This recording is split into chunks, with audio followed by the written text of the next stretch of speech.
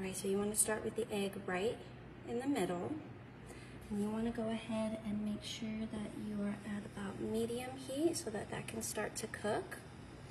And right away, I'm going to just add my seasoning to the middle of the egg, just a little bit of pepper. You know, you can season it to your taste. It all depends on your flavor profiles. Now what I'm going to do is I'm just going to take some grapes, cut them in half, and I'm going to go ahead and lay them throughout the pan. This is just going to add a little bit of pop of flavor and color to our dish. This is one of my favorite breakfast meals to make. It's fun, it's colorful, it's nutritious. And as many grapes as you like. Some people de-skin their grapes. I personally like the skin on mine. So then along with those, you just want to make sure they're in a perfect circle. You can add other fruits to this. I like blueberries. So you just want to go ahead and scatter your blueberries throughout the pan. And you'll see when this all comes together, how pretty the colors are going to look and all the flavors are just going to mash together. So you definitely have your egg cooking in the middle. You can see that there. You got your grapes and your blueberries. Now to bring everything together, you just want some pancake mix. I love blue pancakes. So you just want to, we're going to fill up all the cavities, all the crevices. You can go ahead and take your time doing this while that egg cooks in the middle. This is one of my favorite breakfasts to make, especially for kids and their family. They just love the colors, the fun fruits in it, and it's nutritious, a great way to start your breakfast, start your day. Yeah, so you can definitely start to see it bubble. That means that it's cooking. You can turn down your heat a little bit, just so that you can make sure it doesn't overcook. I'm gonna go ahead and add some pink pancake mix, just in those spaces between the blues. Yeah, just like that. Mmm, ooh, you can already start to smell it. It's really good.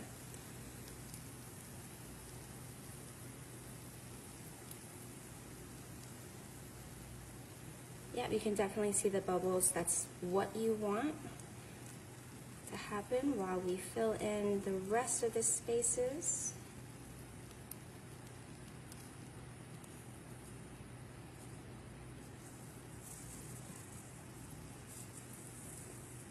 Along with my sweet of the fruit and the pancakes, I like to add a little bit of spice to mine. Not everybody likes to do that, but you can you can experiment with different flavors if you want. You have those bubbles right there, that's perfect. So I go ahead and just use a little bit of sriracha. Um, you can use just regular sriracha or sriracha mayo, depending on what kind of flavors you like. I'm just gonna add a little, couple dollops here and there on top of those pancakes. You don't wanna make it too spicy, especially if you have kids, but I like a little bit of scattered spice in there. So yeah, you definitely just wanna let that cook a little bit. We're gonna go ahead and cover it. Gonna cook right away. Once the, the steam starts to fill that up, you can turn up the heat as well if you'd like a little bit. You definitely don't wanna go too hot to burn that pancake. But once we flip this, it's gonna be perfect. It's gonna be delicious, colorful, and just a, a great breakfast meal for family, for yourself if you don't wanna share. So once this is all done cooking, to bring all the flavors in together of the, the egg, the pancakes, the blueberries, I definitely put a little bit of just regular syrup um, that I put on my pancakes. You can use maple, you can use even a huckleberry syrup is good. Oh yeah, see, oh that's perfect. This is just what we want. We do want maybe a little bit more in here, so I'm gonna add another egg. You can add as many eggs as you like, depending on how much protein you like. I'm just gonna add another one right there. If the egg yolk, if the egg whites go off into the pancake, that's fine because once we flip it, everything will just blend together. That's great. Oh, this is turning out perfect. You definitely see the pancake starting to rise and that sriracha seeping into the pancake mix is gonna be beautiful. Yeah, so you just want that to simmer, to cook a little bit. There's one more fun ingredient you add right at the end before you're gonna flip. It's just a little fun festive piece that I like to add. Oh yeah, you definitely wanna make sure that all the edges are covered and that way everything will just stick together. Perfect. Let's let that cook a little bit. The steam will definitely get in there and help cook that top egg as well. So while that's doing that, I'm gonna go ahead, I like to add a couple little sprinkles to the mix, give it a little fun color, and uh, also different texture that you can use as well. Oh, this is perfect. This egg is taking a little long, so you know what I'm gonna do is I'm gonna pop that. I'm gonna pop this egg so that the yolk can envelop this top layer. Yeah, just like that. So the bottom egg is cooking, forming that centerpiece of the toast, and then this top egg will just kind of sear it all in place. So let's go ahead and cover that again. I'm just gonna let that cook a little bit. But you can definitely see the different, the grapes and the blueberries, they're all just forming in the pancake along with the toast and the egg. This is a great breakfast.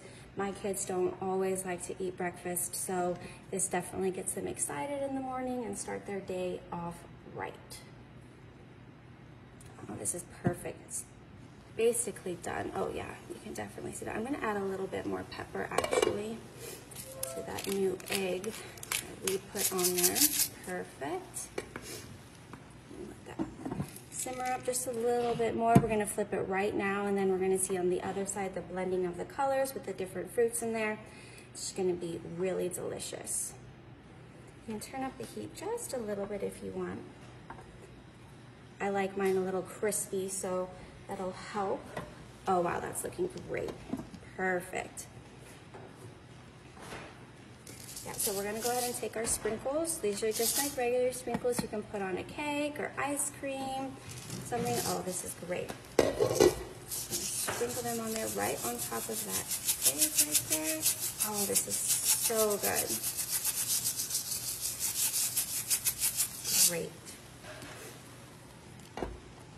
Just let that finish cooking. We're gonna flip it right now and then you're gonna see on the other side the different colors of the pancakes and the berries, the grapes. They're all gonna just come together and make a really delicious breakfast.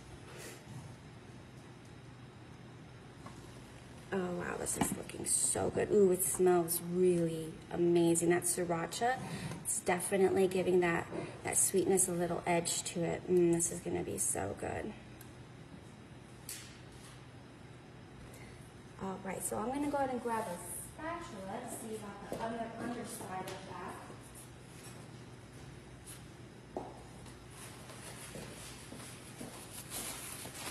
Yep, so while this is, oh, yep, you can definitely see the edges right there.